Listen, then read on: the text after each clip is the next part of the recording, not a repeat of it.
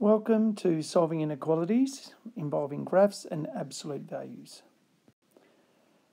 So firstly we're going to look at uh, how to use graphs to solve inequalities.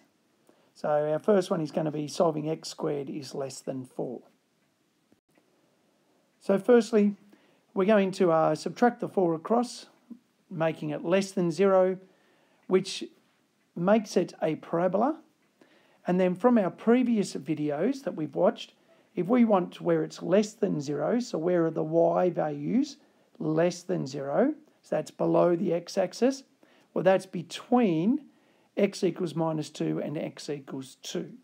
So that's our solution. So a graph is the best way to actually solve these.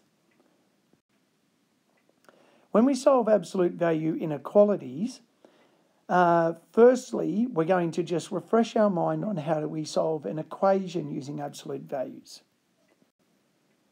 So remember when we solve x minus 5, the absolute value of that equals 8. One solution is equal to 8 and the other solution is equal to minus 8. So you don't touch the inequality. So it's x minus 5 equals 8 or x minus 5 equals minus 8.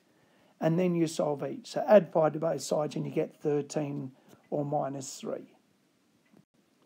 So if we use the exact same question but just put an inequality in, we have the same concept. So x minus 5 is going to equal to uh, x minus 5 and 8 is one of our solutions and x minus 5 and minus 8 is our other one. But on the minus 1, we actually change the inequality to the opposite direction. So one solution is solve it as it is, x minus 5 less than or equal to 8.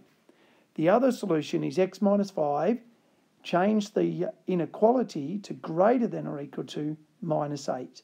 And then you add 5 to both sides. And so you get x is less than or equal to 13 or x is greater than or equal to minus 3. Thank you.